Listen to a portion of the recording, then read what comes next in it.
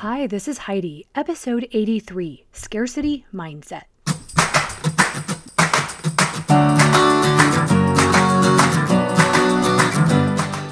Life isn't a spectator sport. Success comes to those who show up every day with a pocket full of courage, grit, and a little sparkle. I'm glad you're here.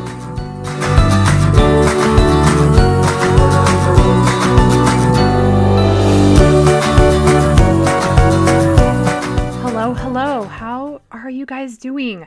I'm so glad you're here, family, friends, new listeners, and those of you who have been here for 83 episodes. Make sure you are rating, reviewing, and sharing the podcast.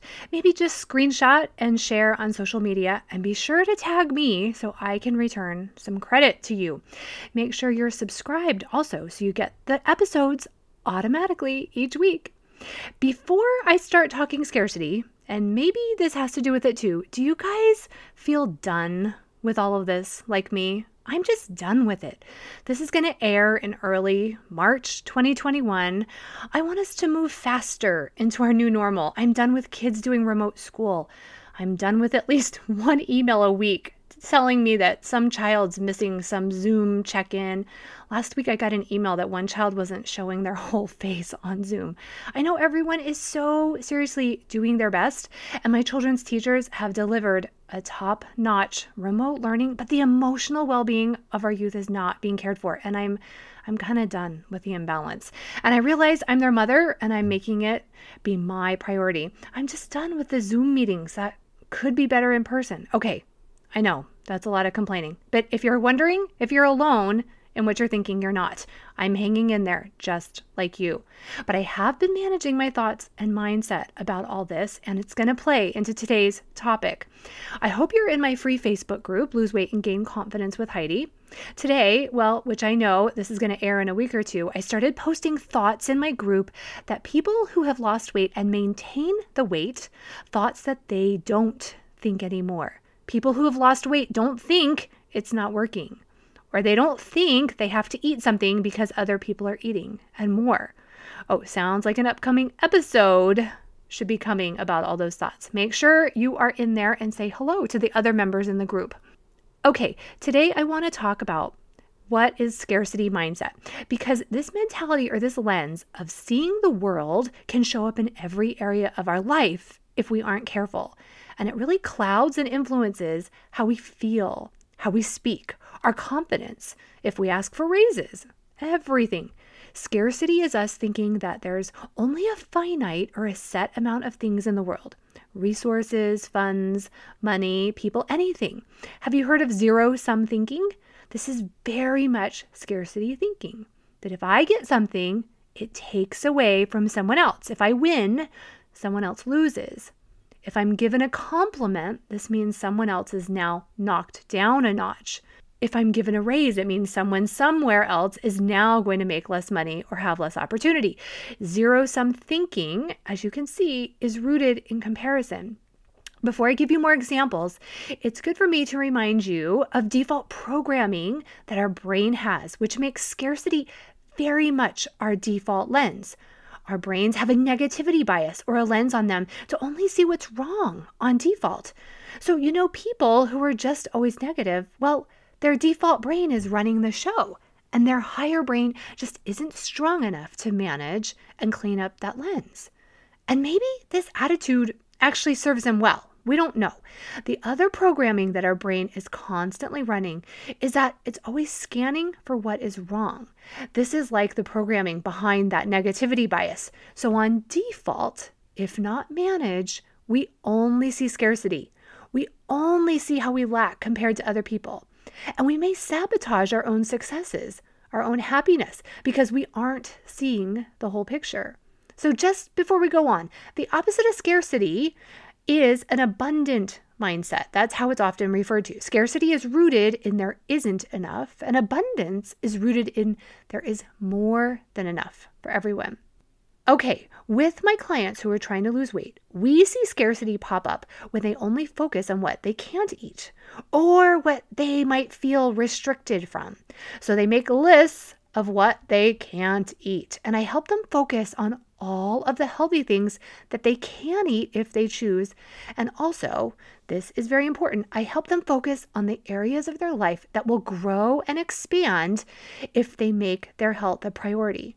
So instead of, oh, I'm sad I won't be able to get that bloomin' onion at Outback with my family, which is scarcity, it's so important to practice moving the brain to what we gain by not eating those foods, how good we feel, how much better we sleep, how many more clothes fit, our enhanced overall health if we repeatedly make good choices like that. Recently, I heard a story of a woman who had lost 100 pounds and was complaining about the loose skin on her legs. And I can commiserate if I wanted to. I have loose skin too.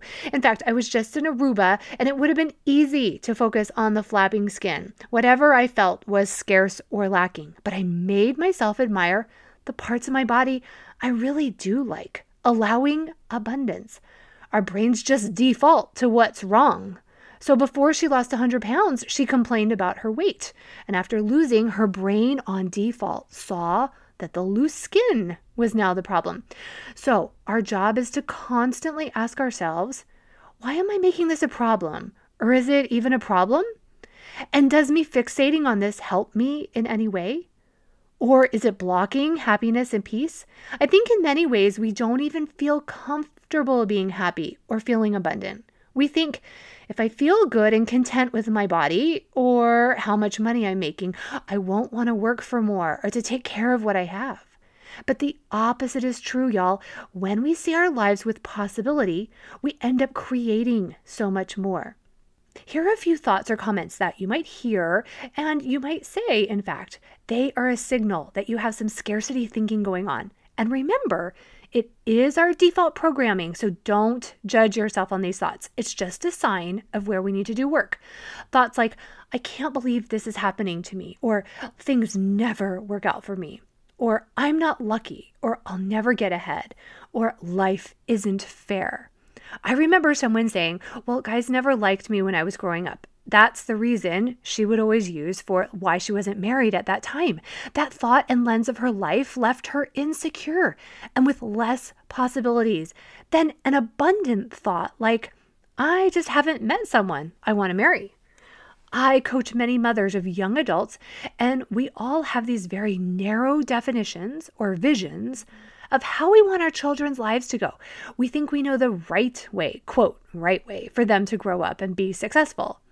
But these blinders of the quote right way end up creating scarcity, worry, and criticism in ourselves. Let's say your child decides not to go to college right after high school. They're working full time because it's what they want to do. When our brains are in scarcity mode, they see only what our children aren't doing. They aren't in college or taking classes, and that scarcity then creates anxiety or fear in us scarcity blocks out our acknowledging and focusing on everything our child is doing right then. They're very dependable in their job. They're making money. They're maybe paying several bills. They're saving. They're showing up to work on time. They're getting work experience. They're learning customer service. They're meeting new people. Our abundant mind will see all of these things, but scarcity has us focused on what they're not doing. Now, scarcity is an emotion and it usually shows up in our lives with us feeling stuck, closed off, selfish, blaming other people, feeling superior, hoping other people fail or have challenges, being paranoid, being suspicious, micromanaging, worrying, or always expecting bad news. Phew, a big list of emotions. And I'm guessing if you're like me, you feel one of those on the daily. Now, Listen to those emotions again. Rewind. Which one of those do you feel the most? Now, remember, our emotions come from our thoughts. All of these feelings are coming from the lens we see the world through. Nothing outside of us is blaming or being paranoid or worrying. So, you want to stop and ask yourself, what exactly am I thinking right now that's making me feel this way? This is the work I do with my clients. I personally have been feeling stuck these past few weeks with my website and WordPress and needing to learn a few things to add some landing pages. I'm stuck because I'm in total scarcity. I'm focusing on what I don't know. Just today, I realized all the blinders I have on, and actually, this mindset is blocking me from feeling the discomfort of learning what I need to learn in the website. It's blocking the solutions and the people I can ask for help. So I've seen that. And today I made a big list of people who can help me, all the resources that I have to help me. Suddenly my mind isn't stuck. It'll be work, but I see possibility, not lack. Another emotion we might feel that's a road sign of scarcity is hoarding. Okay, maybe you aren't hoarding toilet paper or hoarding stacks of newspapers in your home, but do you hoard information or resources or useful information for fear someone else might succeed more if you shared that information? I remember in my first job after college, I worked with a woman who was supposed to be training me in my assistant job. She was a longtime temp, and instead of training me and sharing and helping and teaching, she would swoop in when I had a question and she would do what needed to be done and literally would hoard the useful information. I knew it was weird, and she was like the opposite of a team player. Her own insecurity and scarcity over her job led her to like figuratively hunch her shoulders over the information she knew about the job and the company, and she just wouldn't share. So I'm really quick to always share tools, information, anything with other people. When we give and share and live in pure generosity, y'all, we feel better, number one. And also, we show the world we're willing to accept. And I promise you, the universe conspires for us to have more, for others to give us more. We want to share and be generous with other people who mirror that generosity and abundance. And even if they don't, a year or so ago, I joined a networking group and mentioned to an acquaintance that I had joined this group. And their first comment was, Well, how many leads have you gotten from that group? Now, this isn't an unusual business question in general, I guess, but it startled me because, while yes, it is named a networking group, my mindset and lens wasn't on what am I getting from this group. I was very much focused on giving and contributing, and I knew with faith and just the way the world works that I'd get back much more than I gave. It made me be so grateful for the other life coaches and other professionals in my orbit. We have absolutely zero scarcity. We could not give more to each other.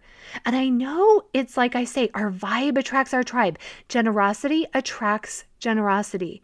And we've all been wildly successful because we can't support each other enough. This comes from us all thinking, there are plenty of people for us to serve. We aren't comparing. We know there's more than enough. Just like in the example of the woman at my first job, her scarcity made her want to be very independent. She was deep in thinking that there wasn't enough, or if she shared, it would take away from her pile. Abundant thinking allows us to be dependent on others, and we want to learn from others. So we all end up growing. Scarcity also shows up in our fear of change, thinking change means we're missing something or something was wrong with us before. Abundant thinking seeks growing and changing. Now, notice the emotions we feel when we can pivot our scarcity to abundance. We feel an overall sense of expansion. We feel open, selfless, love, acceptance. We give and we receive compliments. We cheer each other on. We're grateful, excited for the future, always expecting good news. I can notice scarcity in myself and others when we hear someone else given a compliment. Maybe suddenly we feel defensiveness or we feel something good about someone else is taking away from our goodness. And there is a part of our brain, y'all. Again, the programming running on default is wondering is there something wrong with us? We just need to manage this brain by reminding it a compliment about someone else is about them. It has nothing to do with me. We see this when someone maybe takes over a job or a volunteer position of someone else. If we were in that position before and we overhear the new person being complimented or given high regards, our brain may wonder, well, are they saying I did a bad job? That is scarcity driving, y'all. The good news is compliments and goodness in the world are not a zero sum game. We can all be good or even great at what we do. I can think back to times when my scarcity was driving my personality. And not only did I make compliments and goodness for others mean something bad about me, I also then had a hard time giving compliments and adding to the praise of others. And it was all from defensiveness and protection on my part. And it's all because my confidence lens and my self worth bucket weren't as full as they needed to be. So I want you to practice the next time you hear someone got a promotion, got a raise, got a new car, is complimented, or praised for things you also do, practice making this all about them. Add to the compliments. Ask about the new car, their promotion. Their new and amazing job is not taking away from your future job opportunities. All the amazing things other people say about their children doesn't take away from the amazing things your children can do one day. As a friend shares how much weight she has lost or her new personal record at the gym, abundance is being happy for her. Scarcity feels insecure and worried you aren't good enough. Everything good that happens to others can totally happen for us if we do the work, if we open ourselves up to those good things happening and see all the possibilities around us. If you find that you're having an overall low anxiety in your life, I bet scarcity is driving your thoughts more than they need to. Anxiety often feeds off the thought or worry, oh no, everyone else is better than me. Just notice where that thinking is showing up and ask yourself how is this not true? What am I not seeing about this situation? Scarcity and perfectionism are best friends because both of them might get a 90 on a test and they only focus on the 90% they didn't get right versus basking in the fantastic 90% they got right. Really, y'all, what we focus on expands. Where we see opportunity, we create possibility. Where we only see problems, we ignore and are blind to all the solutions right in front of us. Another scarcity mindset is our fear of missing out. I remember leaving college and wanting to move back to that town because only focused on the good things I'd be missing by moving out of that season of my life and out of that city. Even with the fear, I did move to Boston, and I'm so glad I did. If I hadn't, I would have missed out on meeting new people, my own growth, my expansion. So, yes, sometimes we do need to decide to miss something so we can experience new and greater things in our life. And the new doesn't cancel out the great that we had in the past. One emotion that's another big road sign of scarcity is when we're holding a grudge or cannot forgive. We feel like there's only so much love to go around, and we don't want to give any love to someone that we don't think is worthy. But we have it all wrong. Love is not a finite resource. We create love in our minds, in our bodies. No one else creates it. So the more we can create and feel, the greater our lives are. No one else benefits from it. Forgiveness is a sign of abundance. And notice how much expansion happens in our hearts and souls when we forgive we feel a lightness that attracts more goodness to our lives. In closing, I want to give you a few tools in addition to the thoughts that I've given you in this episode. And y'all, I get it. In some ways, it is easier said than done, but it gets so much easier as you train your brain to pivot your thoughts ever so slightly. And we're the ones that feel the benefit. First, we hear it everywhere, and honestly, it's because it works. Every night, write down three things you're grateful for. My husband has been doing this really super conscientiously for a few months, and he says how much of a difference it has made for him. I can see it too. This makes our brains focus on the abundance, even if for a few moments we ignore what's lacking. Second, when you find yourself feeling those emotions of scarcity, stop and go through all five of your senses. What are you touching that you're thankful for? Your clothes, your couch, what else? What about the air you're breathing? Or are you just thankful for maybe clean air? Pick out one thing you see that represents abundance in your life through your eyes, and so on. By the time you get through all five senses, your brain will have moved out of scarcity to at least neutrality, if not abundance. Being grateful for the simple things in life is actually very profound. Third, each morning repeat I am and follow that by words that you want to describe yourself and that you want to attract into your life. Our default programming is to be so negative, so we attract negativity into our lives. So practice saying to yourself, I am capable. I am a hard worker. I am creative. I am gifted. I am special. I am smart. I am smart enough to figure this out. I am resourceful. Whatever it is, our scarcity lies inside our lack of self worth. Repeating these things will clear up our brain lens so you're looking for evidence that day of those beliefs. Now, fourth, allow your feelings of inadequacy or anxiety. See them, don't resist them. They're human emotions and just let them pass. Don't let them sit longer than necessary. They aren't the feelings that we want driving the car. We just get to see them in the back seat. Here's the thing when you start seeing life through abundant eyes, you start creating more opportunities for yourself. You have more creativity and see more possibility. You literally attract more goodness into your life. Several of my clients have gotten new, better paying jobs, raised their rates, and more, all domino effects of increasing their confidence, managing their scarcity mindset, and believing they are worth it. Okay, that's it for today. If you want to know how to use these tools to achieve your goals and to get out of your own way, sign up for a consult call at HeidiBenjaminsen.com. I have one more spot for private coaching. So sign up now if you want to come out of quarantine with a new mindset and confidence. A confident mother is the greatest gift to her family not a perfect mother. Your family wants you to feel confident, anchored, and calm. I can help you uncover this version of yourself. Have a great week.